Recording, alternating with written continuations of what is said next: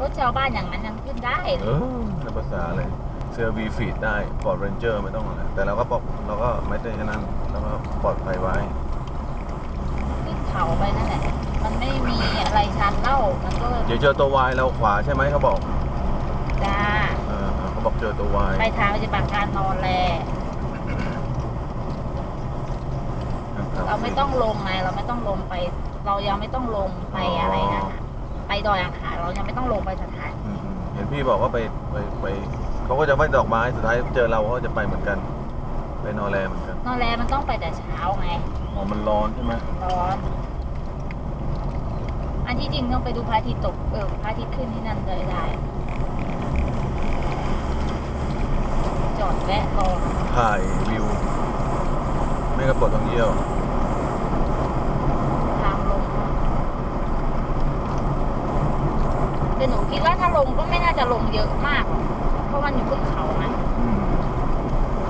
ขึ้นทางหนึ่งลงทางหนึ่งเหรอเนี่ยลงทางเดียวคือมาต้องกลับทางเดิมไม่มีทางอ๋อลงถ้าเป็นก็เป็นโลโก้โรดไปอะไรอย่างเงี้ยแต่ส่วนมากจะขึ้นลงทาก็งเมื่อกี้มันเขาบอกว่าลงไปกลายเป็นฐานปฏิบัติการมีกาแฟข้างล่างพี่เลยงงตรงไหนวะ ที่เรามาก็เจอแค่สามแยกทหาร แล้วที่เขาพูดนี่มันตรงไหนวะ ไปอีกที่หนูจะพาพี่กินข้าวอะคือไปเส้นนี้แล้ววนก็แล้วมันก็ต้องกลับทางกลับเดิมามคือทางทางนี้นี้อ๋อโอเคมันเข้าออกทางเดียวคือทางฐานทหาอ๋อรโอนี่เคอ๋อต้องหนาทหารควบคุม ที่หนูจะพาพี่ขึ้นมาเนี่ยมาแถวเกษตรหลวงมาที่พี่เขากินข้าวเมื่อคืนเนี่ยแหละอ่ามันจะเป็นหมู่บ้านชาวเขาไงที่ไม่ถ่ายวิวอะเนาะเนาะ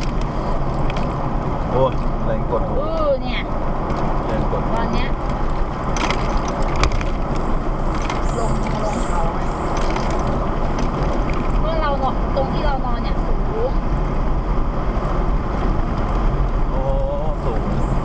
ถ้ามาเช้าเช้าๆคงจะหมอกนะ เขาบอกว่า มาถึงนี่แล้วให้ไปวัดล่องหุ่นไปไปได้ไง มันโค้งเขาบอกมันอ้อมไปอ้อมมา ก็บอกแล้วว่าปลายปลายๆมันถ้ามาถึงนี่แล้วพี่ไปร้อยกว่าโลเองเขาบอก ไม่ถึงชั่วโมงครึ่งก็ถึงไอ้อะไรนะเชียงรายเชียงวัดบ้านรายขุยแล้วพี่ก็ไปถ่ายนู่นแล้วก็เข้าเชียงใหม่ เออผมเสร็จงาน 12 10เดือน12ไม่บอกเอองั้น13เราก็เที่ยวเนาะเนี่ยบ้านหลวงซ้ายมือใช่ไหมเราไปบ้านเขาแล้ว